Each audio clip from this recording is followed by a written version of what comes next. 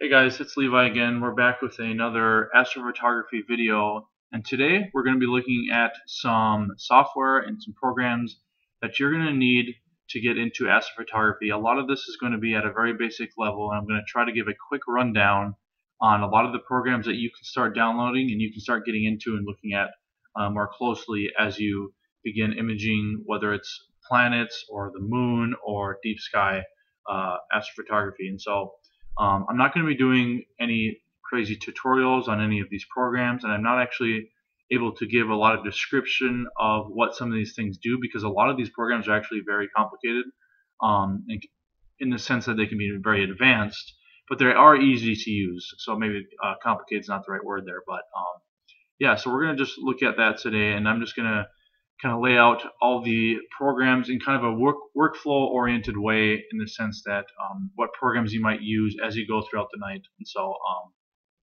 we're going to get right into it and try to make this pretty quick. Um, so the first program that we're looking at here is Stellarium.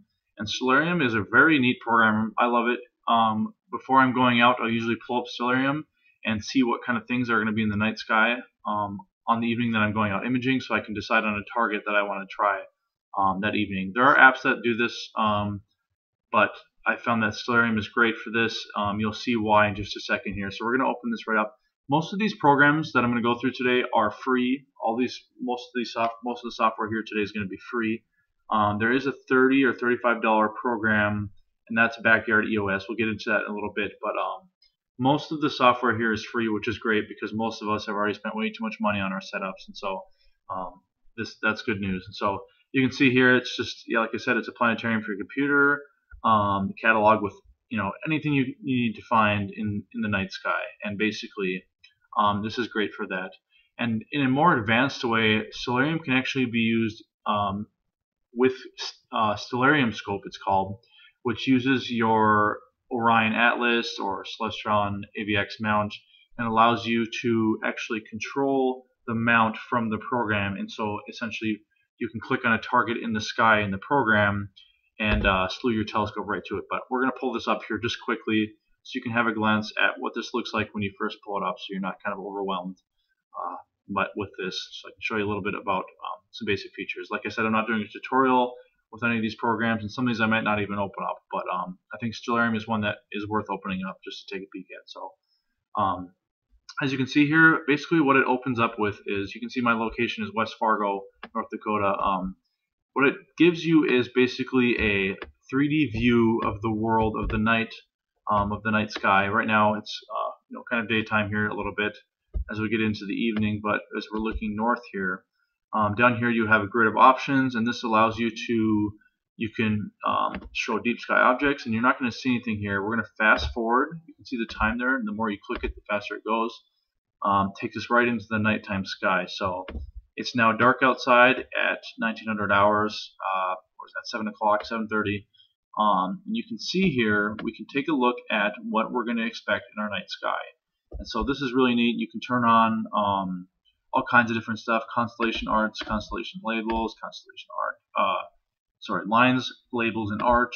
Um, you can turn on the equatorial grids and azimuth uh, grids. Um, but you can see lots of cool stuff here, and this is just great. Um, you can actually click on an object and get lots more information about that. Um, and then if you've got the mount set up and all the software configured for Stellarium scope, you can actually press Control 1 and your mount and your telescope will actually point at what you're looking at if you are polar aligned. But um, I'll maybe do another video on that later. That's kind of a little bit more work to get that configured, but um, very cool. Um, lets you click around in here and you can click on all these things. You can zoom in. Um, I'm on a touchpad here, so my zoom functions are a little uh, wonky, but um, yeah, that's this is Stellarium. Great, great program. Um, like I said before, I'm going out.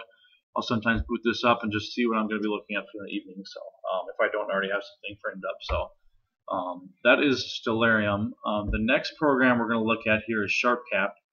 Um, and you can find that at the URL you can see at the top here, sharpcap.co.uk.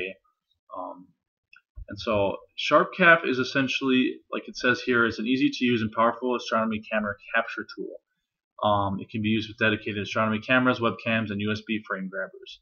So, um, like that's saying, this isn't something you're going to be using with your DSLR or anything like that. But this is more so um, going to be used for the main purpose that most people use SharpCap for is for uh, polar alignment. Um, there's a five dollar fee to get the pro version of SharpCap. I think it's five dollars per year. Um, you can see that down here that allows you to do polar alignment using your guide scope. The easiest way to use the easiest to use polar alignment tool. Um, I've heard great things about this. Everybody online on the forums all seems to they all seem to use SharpCap um, to do their polar alignment. And essentially, what um, SharpCap does is it basically looks at looks through your guide scope for a star, and it has you actually rotate the mount 90 degrees on its, um, I think, which axis? On one of the axes, um, it has you rotate the mount 90 degrees, and then it compares the images and sees which way you need to move your um, to move your mount so that you are properly polar aligned, and it can get you um, really honed in if you're not really comfortable using the polar polar scope. Um, the one caveat with that is that you do need to be within five degrees, I think, of polarity. Um, uh, looking at Polaris through your through your polar scope, so you kind of have to have a rough polar alignment in a way before you can really uh, begin to use this. But um, basically, you'll be selecting your camera, um, and then there's there's a polar alignment tool, polar line there, uh, that you'll be able to do. Um, you can find tutorials for this online. It's a great program. Um, yeah, this is basically going to be your polar alignment tool. Um, there's other ones out there, but like they said, they are the best one out there, um, and I, I do believe that. So um, that's SharpCap. So we're going to get into so as you're going through your night, um, like like I said, the first thing you're going to want to do is I didn't say this actually, but I'm saying it now. First thing you want to do is polar align your telescope, and you want to do that with all of your gear loaded on, um, because you with the weight and things you can throw off your alignment, and so um, and the, maybe even your balance of your scope. So you want to get all that situated and get polar aligned before you do anything else with your scope um, and with your mount. So um, SharpCap will help you with that. And then the next thing you're going to want to do um, is once you um, once you get your camera mounted and things like that, you're going to um, probably pull up Backyard EOS. And Backyard EOS is, if we can find it here, their download page. Yeah, here it is. Backyard EOS. So Backyard EOS is basically just going to be your image acquisition software. Um, take control over your Canon DSLR. That's basically what you're doing. You're instead of having to stand up by your telescope and press capture and you know modify your your um, uh, modify your ISO and modify your exposure length those sorts of things you can do most of that in backyard EOS and so um, that's great for this. And this is like I said you're going to set your most of your acquisition you can set um, you can set up a program where it says basically I want to capture you know three minutes of exposures at ISO 1600 and I want to take 60 of those exposures. Um, and you can just click the button to go and get that ready. But um, what you also want to do with this is actually get your um, camera focused in. Uh, make sure you have your you know as you're tweaking on your telescope your focus you want to focus in your camera um, with that. And like um, like I said I'm not doing any tutorials with any of this but basically you're going to hit connect you're going to select your camera here. It's probably going to error out because mine's not connected. Yeah. Um, and basically, you'll see a live view. Um, if you click on the, there's an option up here once you get it hooked up, and you'll be able to see a live view what you see through your your uh, camera through your telescope, and so you'll be able to kind of hone in your focus there and uh, get ready to start shooting. So, um, yeah, that is that. And then when you're ready and you've got your, you've slewed your target and you're polar aligned and you're focused up, you've found your target, it's time to start shooting. And so before you do that, you want to get your guiding set up, and that's where PHD2 uh, comes in. Um, openphdguiding.org. You can find the download here. Um, and basically, this PhD, PHD stands for Push Here Dummy. Um, and Push Here Dummy 2 is a telescope guiding software that simplifies the process of tracking a guide star star, letting you concentrate on other aspects of deep sky imaging or spectro spectroscopy. So um, you can see here, this is a little preview of what's going on. basically with um, PhD, I don't know how I have a hard time saying that. Um, with Push Your Dummy, you're going to it's going to be looking through your guide scope and you're going to um, select a star and then you're going to begin your um, once you're polar aligned, you're going to begin your your guiding. And this graph here is basically you're looking for a very thin, not too many ups and downs. You're looking for a pretty straight graph here, and then I'll give you an indication of whether your alignment uh, is pretty well. And you're looking for values. It's very small over here. It will let me zoom in here. You can see here the RA and the declination uh, degrees. You want to keep that below one for a pretty good um, that means you're you're guiding pretty well. If you're getting some crazy things, you might have to redo your polar alignment and uh, look at what issues may, might be happening. Um, I do know that lots of times guys are caught off guard because all of a sudden it's cloudy out and they didn't expect that, and so they're losing their tracking because of the clouds and they can't see their guide stars um, anymore. So be careful of that, and uh, that's push your dummy too. Um, I don't know a lot about that one. I haven't actually got a chance to use it yet, um, so I don't know. I'm doing a you know introduction to it, but I do know that this is what most guys use, and they've had pretty good success with that. So, um, yeah, and of course with guiding, you're only going to be doing that if you're doing any sort of deep sky uh, imaging. So, yeah, we're going to move on to PIP, planetary imaging preprocessor. So we've now moved into after you've taken your images, whether it's um, deep sky or planetary lunar, but PIP in particular is going to be for planetary imaging. Um, and so basically, like it says, it is a Windows application designed for pre-processing planetary images before stacking them with image stacking software such as Registax. We'll go over Registax next here. Um, but PIP basically, like it says, its its purpose is to crop the image down, center center the the object in all of the frames and crop them so they're the same size, and then also reduce and get rid of all those ugly flame, uh, frames where something might have been um, black or or just a black screen or you know washed out or whatever. It picks a best quality frames out of there and uh, kind of just cleans everything up in a way, um, in a sense. And so um, Pip's great. It's very easy to use. I don't think I need to do a, a open that up and show anything about what's going on. Um, basically, you're just uploading your your images or your video. Um, if you're doing planetary, you're usually doing video, and you're just uh, throwing that in there, and it's outputting basically a better version of that. So um, then we're going to move on to Registax, and Registax, you're going to pull in that video and most likely be stacking that um, video. And again, we're down, going down the planetary lunar route here. We're stacking planetary images.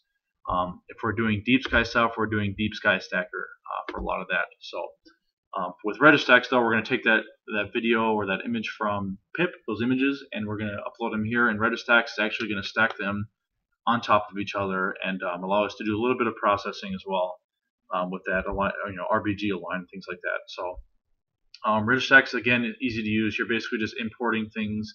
You can tweak, you know, things here and there in configurations, but overall, the the process is pretty uh, straightforward and uh, simple to use. So Registax is another great one. Um, so the next, the other route you can go is these deep sky stacker, and like it says, it's for deep sky images. So if you're doing any sort of galaxies or nebulas or anything like that, you're going to want to use deep sky stacker. And like it says, um, it's planetary is typically built for video. Planetary software is built for video because you're usually acquiring video of planets.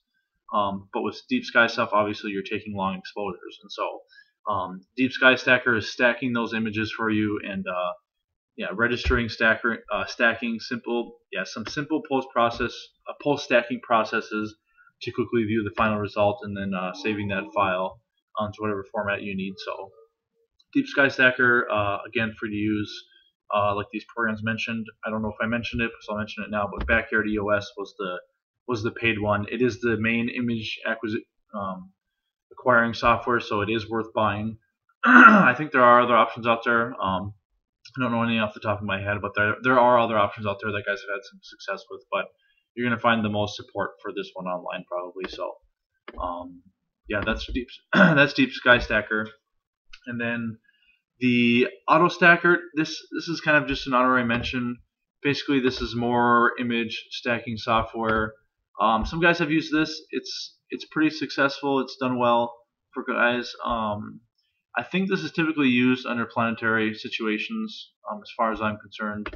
yeah, you'll see some sample images here. You'll see Venus and uh, the Sun and um, Jupiter. So yeah, we're looking at mostly planetary uh, images with AutoStacker. So I do know that I've opened some things. I like to open up some of my planetary stuff up in AutoStacker and uh, tweak it around a little bit before uh, doing kind of a master edit, um, which is as we're moving on here to the next discussion, which I forgot to pull the tab up for, is GIMP. And this is basically your free version of PixInsight or Photoshop. Um, this is what I use to tweak a few things on my images. I don't do a lot of heavy editing. Some guys do a little bit more than others. Um, but uh, I use I use GIMP for a lot of my stuff because I'm too stingy to pay the big fees that you'll see with um, Photoshop and PixInsight unless you're a student or something like that. Get a get a pretty good deal, or if you're torrenting or whatever it is. Um, so yeah, that's that's basically it for for the software. Um, quick rundown: Stellarium, SharpCap, Push Your Dummy 2, Backyard EOS, pip, Registax, Deep Sky Stacker, and maybe AutoStacker um, for your main workflow for the evening and for what you're going to need on your laptop to get out there and in the field and uh, taking pictures and uh, getting some cool results. So, um, yeah, thanks for watching. Um, if you have any questions, let me know. Maybe I'll be doing some more advanced uh, advanced tutorials on some of these programs or anything like that if anyone needs. But um, overall, that's basically the rundown of what you're getting into uh, with the software and programs you're going to need. So uh, thanks for watching.